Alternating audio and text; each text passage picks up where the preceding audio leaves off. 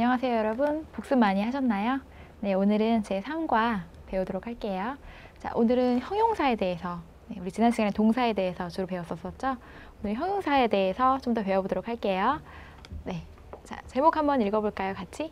네, 띵, 위에, 거, 커, 콩 네, 역시 패턴 회화 1에서 바로 나오기 때문에 우리 패턴 회화 1 바로 보도록 하겠습니다. 네, 48페이지입니다 역시 언제나처럼 단어를 먼저 보도록 할게요. 자, 같이 읽어보겠습니다. 커, 커, 네, 형용사고요. 어렵다 라는 뜻이에요. 어렵다 라는 뜻이에요. 다시 한번 읽어볼게요. 커, 커, 네, 어렵다 라는 뜻입니다. 자, 그 다음에 오늘 조금 어려운 거 배울 것 같은데요. 또, 또 배워놓으면 되게 쉬워요. 많이 쓰이는 거고요. 자, 같이 읽어볼게요. có, không, có, không. 네. 이 꼬, 컴 하면요. 이 두 단어가 의문문을 만드는 구성 요소예요. 그래서 하나만 있으면 안 되고요. 항상 둘 다 있어야 돼요. 네. 그리고 không은 문장 끝에 위치하고요. 자, 의문문을 만드는 구성 요소. 자, có, 형용사 플러스 콩 하면요. 가운데 거 형용사 합니까? 네, 라고 번역이 돼요. 그래서 거 형용사 콩은 가운데 형용사 합니까? 라고 돼요. 자, 그럼 우리 예문을 조금 볼까요? 자, 형용사. 자, 처음 보시죠? 네, 근데 앞으로 정말 자주 나오는 단어예요. 같이 읽어볼게요. 넵. 넵. 하면요, 형용사로 예쁜이란 뜻이에요. 아름다운이란 뜻도 있고요. 예쁜, 아름다운. 그럼 한번 넣어볼게요. 꺼, 넵, 콩, 꺼, 넵, 콩 하면은 예쁩니까? 이렇게 되겠죠? 네. 자, 그래서 꺼, 콩은 형용사가 가운데 올 때 의문문을 만드는 구성, 구성 요소가 되고요. 네, 합니까? 라고 번역을 해주시면 돼요. 자, 이거는 또 계속 보도록 할게요. 자, 그 다음에 우리 지난 시간에 제가 책에는 나오지 않았지만 잠깐 끝에 설명드렸던 콩이 나왔네요. 자, 그때는 우리 동사 앞에 쓰여서 콩혹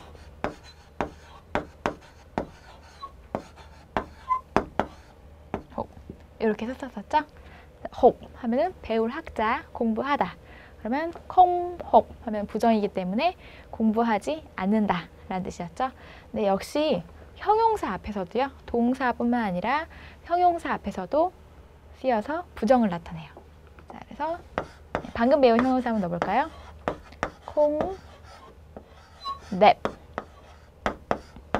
그러면 넵 하면 예쁘다 라는 뜻이었는데 콩을 앞에 써주니까 콩, 넵이라는 뜻이죠. 네, 예쁘지 않다. 예쁘지 않다라는 뜻이죠. 네. 자, 그 다음에 역시 우리 자주 보게 될 읽어볼게요. 자, 이거 쉽지 않죠? 자, 한번 읽어볼게요. zzz, zzz 이라고 읽고요. 부사예요. 매우, 아주라는 뜻을 가지고 있어요.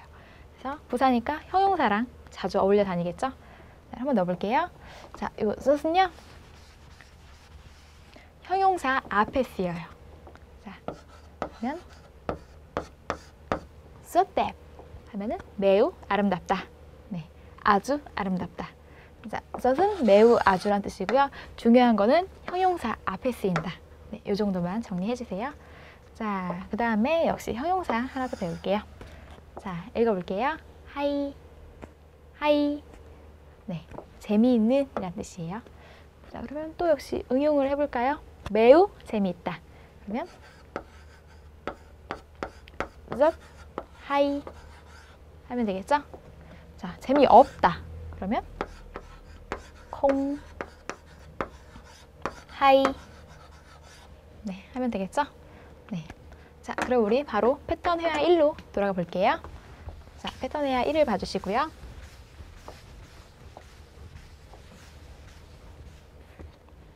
네. 자, tiếng Việt. 자, 우리 지난 시간에 배웠었는데 띵은 소리나 언어, 그죠? 위엣은 베트남, 베트남이죠? 그러면 띵 Việt 하면 베트남 어가 되겠네요. Tiếng Việt. 꺼, 커, 콩. 네. 네, 바로 오늘의 제목이랑 똑같은데요. 자, 아까 제가 방금 고하고 콩은 의문문을 만드는 구성 요소라고 설명을 드렸죠. 특히 가운데 형용사가 올 때는 번역이 가운데 거 합니까? 라고 됐어요. 자, 그러면 거, 거, 콩 하면은 어렵습니까? 우리 거 하면 어렵다 라는 뜻이었죠? 어렵습니까?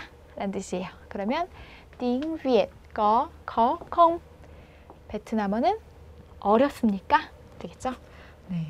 저도 베트남어 배우면서 늘 입에 달고 살았던 말이 베트남어 너무 어려워. 네. 그 말이었는데 자, 그럼 우리 대답은 어떻게 했는지 볼까요? 자. 오, không이라는 단어가 나오네요. 그러면 어렵지 않다가 될 것 같은데. 네, 그렇죠? 네. không, khó. 네, 역시 동사의 경우와 마찬가지로 네, 형용사 앞에서도 không을 써줘서 부정을 해줘요. 그러면 그냥 khó만 있으면 어렵다 라는 뜻인데 không, khó가 되기 때문에 어렵지 않다 라는 뜻이죠. 자, 어렵지 않으면 어떨까요? 네. 띵, 예.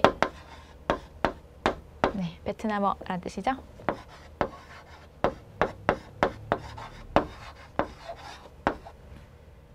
네, 반전. 네.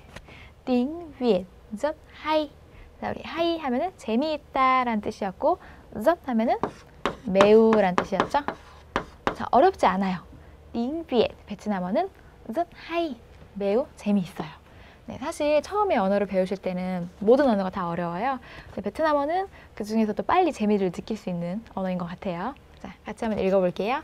tiếng Việt có khó không? Không khó, tiếng Việt rất hay. 네. 자, 우리 형용사에 대해서 조금 더 자세히 알아볼게요.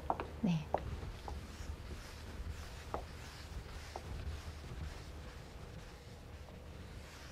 자, 형용사라는 것은 어떤 사물의 성질이나 상태를 나타내주는 말이죠. 성질이나 상태. 네, 어떤 대상의 성질이나 상태를 나타내주는 말이기 때문에 명사랑 또 자주 어울려요. 네, 그렇죠? 네, 그거는 이제 조금 이따가 또 보기로 하고요. 오늘 요것만 좀 정리해 드릴게요. 우리 지난 시간에는 동사 문장에 대해서 배웠었죠?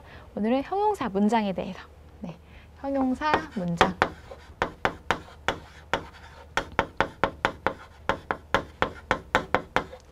자, 나는 달린다. 동사 문장일까요? 형용사 문장일까요? 동사 문장이죠. 자, 그러면 그녀는 예쁘다. 네, 성질이나 상태를 나타내주는 말이니까 네, 형용사 문장이겠죠. 자, 우리 우리나라 말에는 그녀는 예쁘다. 그래서 뭐뭐는 뭐뭐이다. 라는 베트남어로 치면 이제 라가 들어가는 것처럼 보여요. 우리나라 말로 하면요. 영어도 보면 네. 자, 영어를 꺼내서 죄송한데 네. 비교를 해야 하기 때문에 자, is, 네, she is kind 이렇게 되죠. 그래서 비동사가 들어가야 돼요. 영어 문장이나 우리나라 말이나 네, 비동사에 해당하는 라가 들어가야 될 것 같아요. 베트남어도 영어식으로 하고 한국어식으로 한다면 하지만요 베트남어는 라가 안 들어가요. 네, 이게 가장 큰 특징이에요. 네, 그럼 어떻게 하면 되냐? 네, 그냥 주어 써주시고 바로 형용사가 오면 돼요. 네, 라는 필요가 없어요. 네, 꼭 기억해 주세요. 네, 형용사 문장은요. 누구는 뭐뭐 하다 이렇게 얘기할 때는요. 주어 다음에 형용사 바로 써주시면 돼요. 자, 우리 그녀는 예쁘다. 한번 해볼까요? 그 아가씨는 예쁘다. 그 아가씨, 네, 꼬, 어이. 자, 꼬 하면은 아가씨란 뜻이고, 어이 하면 3인칭을 만드는 그라는 뜻이었죠. 그래서 꼬, 어이, 그 아가씨는 예쁘다. 네, 그냥 네, 네 이렇게 써주시면 돼요. 매우 간단하죠. 그래서 형용사 문장에는 라가 들어가지 않는다. 기억해 주세요. 자, 그럼 우리 패턴 해와 2를 보도록 하겠습니다. 네, 패턴 해와 2 바로 보도록 하겠습니다. 네, 49페이지고요. 네, 역시 단어부터 보도록 할게요. 자, 단어가 3개밖에 없네요. 와, 너무 좋다. 네, 같이 읽어볼게요. 몬, 안, 몬, 안. 네, 음식이란 뜻이에요. 음식. 자, 우리 앞으로 배울 건데요. 안 하면요. 동사로 먹다라는 뜻이에요. 먹다. 네. 앞에 몬이 붙으면 이제 명사형이 돼요. 그러면 몬안 하면은 먹는 것 되겠죠? 우리 뭐 먹죠? 음식. 음식이 되겠죠? 자, 그 다음 단어 얼른 볼게요. 자, 읽어볼게요. 태, 나오. 태, 나오. 네. 어때요? 라는 뜻이에요. 어때요? 자, 이것도 역시 의문사예요. 자, 우리 배운 의문사 한번 볼까요? gì. 네. là gì? anh làm nghề gì? 그때 무슨, 어떤 이란 뜻이었죠? 자, 그다음에 우리 일과에서 배운 now. 네, 둘은 똑같은 뜻이죠? now 하면 역시 무슨, 어떤 이란 뜻이었는데 anh là người nước nào? 당신은 어느 나라 사람이세요? 했을 때 나왔던 now 있었죠? 자, 그 다음에 우리 바로 지난 시간 이과에서 배웠던 đâu 있었죠? đâu 네. anh sống ở đâu? 당신은 어디에서 사세요? Anh làm việc ở đâu? 당신은 어디에서 일을 하세요? 했을 때 나왔었죠? 자, 의문사는 이렇게 나올 때마다 하나씩 정리를 해주시는 게 좋아요. 자, 대 나오도 역시 의문사고요. 어때요? 어떻게가 아니라 어때요? 라고 하는 말이에요. 자, 저 어때요는 어떻게 쓰이냐면요. 주어 뒤에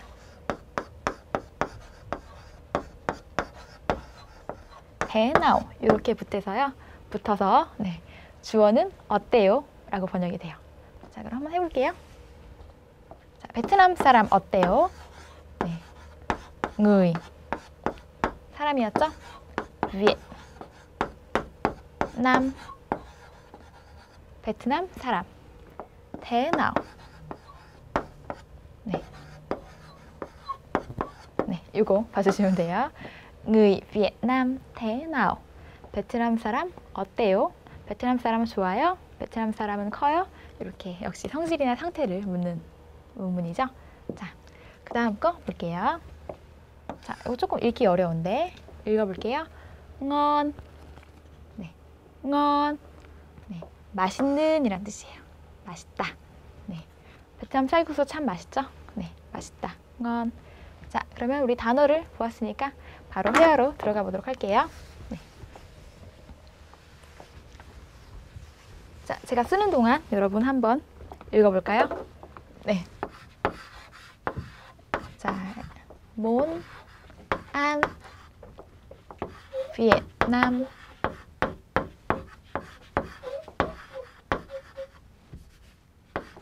해, 나오. 네. Việt Nam thế nào? 네. Ăn 하면 아까 음식, 먹는 것이었죠? Vietnam 하면은 베트남 음식 되겠죠? 베트남 음식이 nào? 어때요? 라는 말이에요. 네. 그죠? 주어가 Việt Nam 베트남 음식 nào? 어때요? 라는 뜻이죠? 자, 어떨까요? 네. Món ăn Nam ngon 네, 베트남 음식은 ngon 맛있다 라는 뜻이죠. 정말 간단하죠. 자, 우리 제가 지난 시간에 의문사 설명하면서 그 자리에 그대로 써주고 그대로 주어를 네, 그대로 써주고 그 자리에만 들어가면 된다고 했었죠. 네, 그래서 대나오 자리에 ngon이 들어가면 돼요. Việt Nam ngon. 베트남 음식은 참 맛있다. 이런 뜻이죠? 네. 자, 그러면 우리 패턴 3으로 넘어가 보도록 할게요.